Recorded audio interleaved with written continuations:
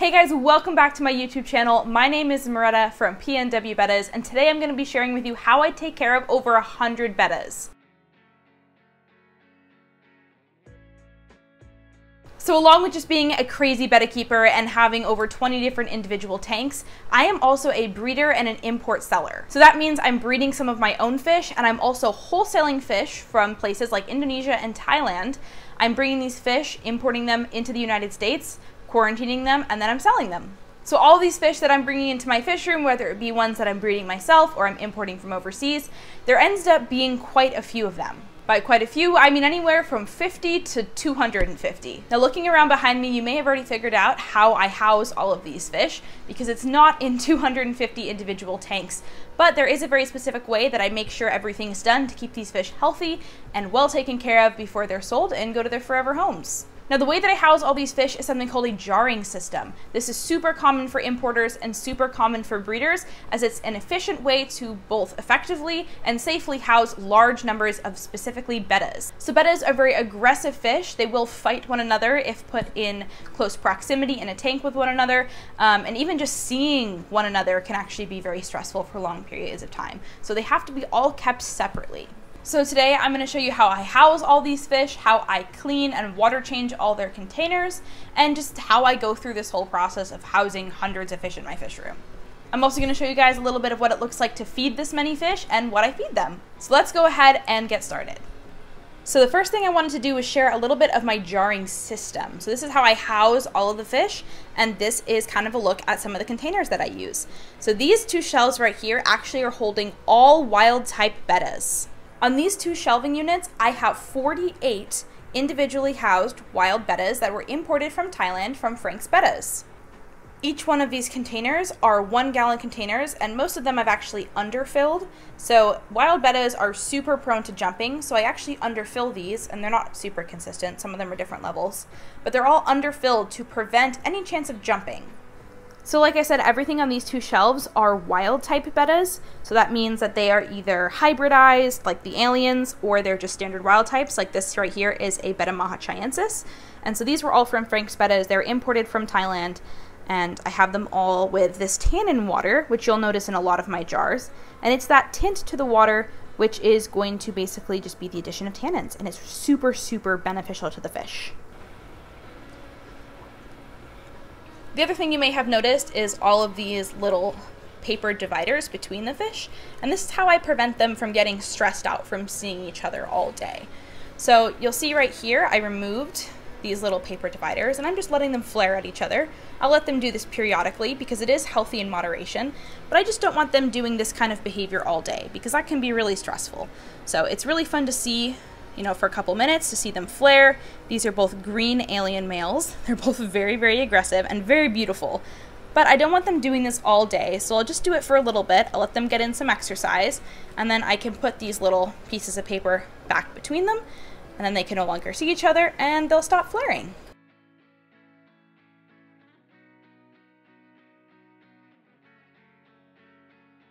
Now, as fun as those two shelves are, they are definitely not my only shelves. I have multiple other ones going on. The ones I'm showing you right now have domestics and wild types. And on this shelf, you'll also see some different containers. So these are some I got from a zebrafish lab. These were some I just bought individually. These are some beanie boxes. And then we have more of those one gallon containers. So because I'm not a retail store, I don't have people coming in. I don't really care so much about having them all look uniform. Um, I just care about them having enough space to house the fish and getting enough water changes. So I don't really mind if some of them are different shapes. I just more look at the volume rather than the shape of the container. And these as well have all the little dividers. My preference is the colored paper. Sometimes I run out and I use regular paper, but I think these look really cool. I know a lot of people have adverse reactions to seeing fish in such small containers, and I think that's a totally valid response. I totally understand where people are coming from. You know, I think back to what where I was just a couple years ago, and I probably would have had that same reaction. Um, but one thing that I've learned over time, you know, doing this hobby and getting into the breeding and selling aspect, is that you know, first off, these are really very temporary. Um, the, the, max amount of time that they tend to be in here is maybe just one or sometimes even two months. But I think one month is about my average um, for the amount of time the fish are in these containers. And during that time, they get many water changes, which is the next thing I'm going to show you. I'm going to show you how I do that and how tell you how frequent. Um, they also have a really good quality diet, and they get um, enrichment by doing this kind of flaring right here. So I'll uncard them once a day or once every other day, um, especially after they eat. I find that really helpful for food digestion.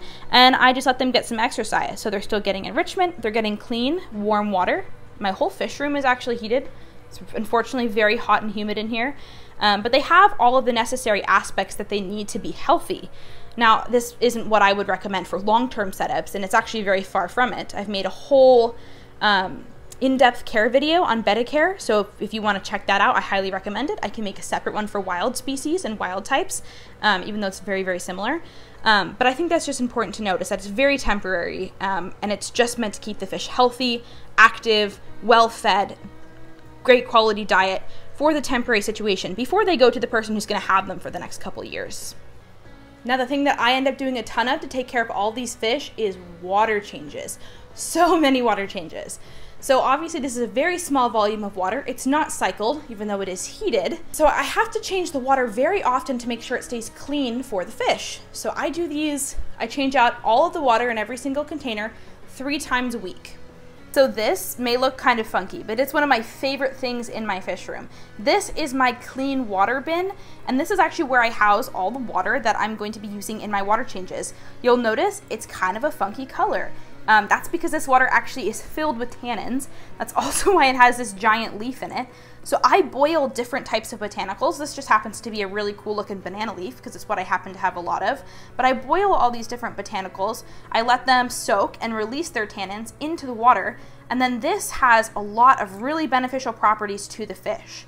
So it's going to help bring out their color. It will help promote breeding behavior, obviously not relevant in this case, um, but it's also just going to help reduce stress and just give them a really naturalistic environment. So one thing that's really, really important to me when it comes to water changing all of these jars is biosecurity. So that basically means I'm having the least possible amount of cross-contamination between the fish to prevent any sort of possible chance of disease spread between them. These fish are coming from different countries and different farms, and in the rare occurrence that there is some sort of disease or a fish comes down with something while it's in transit, you know, it is a stressful process. They are more prone to having illnesses in those cases, but they then aren't spreading it around the fish room to all the other fish. So over time, I figured out a way to water change all the jars that didn't involve using the same siphon or the same net to scoop all the fish out, and I basically figured out a way that I could get all the water out, but also not cross-contaminate the fish.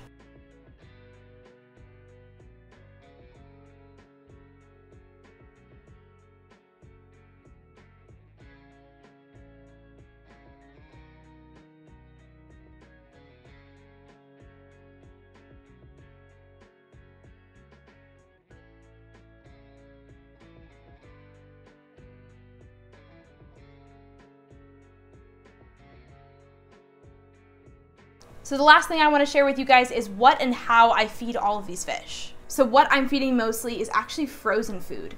I brought my giant stack of frozen food from my freezer, which was kind of a mistake because this is really cold and it kind of hurts my hands to hold on to. But I wanted to show you what I actually am feeding these guys. So one of the main foods that I feed is frozen bloodworms. I buy Hikari um, for basically everything because it is my favorite brand for frozen food.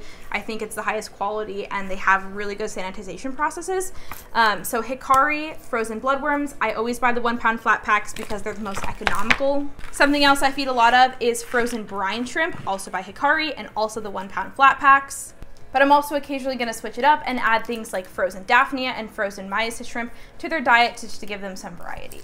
That's not to say that I never feed things like pellets, but the majority of the time I'm feeding this stuff, the frozen food. Now the way I actually feed all of these guys is really simple. I just thaw the frozen food in a little cup like this, and then I just have a little pipette and I can suck it up and put a little bit into each container.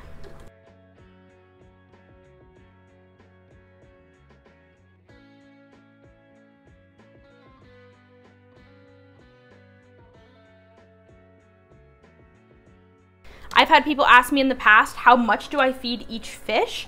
And I really don't have a good answer for that. I'm sorry, um, because I've really just gotten pretty good at eyeballing the amount I need to feed each fish at this point.